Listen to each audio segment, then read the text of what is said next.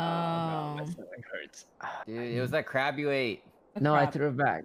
I need a plunger for my asshole. What the fuck?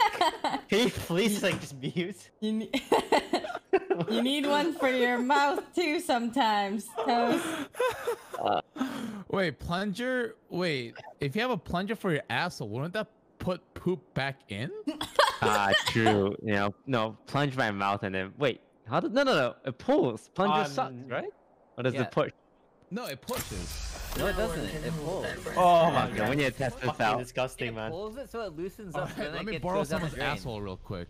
Let me eat a lot of tacos and then we'll test this out. Alright. Why am I always Actually, uh, fucking eating when you guys are talking about shit, man? No no no. One person gets plunged in the face. One person gets plunged in the asshole. See where it comes out. Okay, so you, want, you want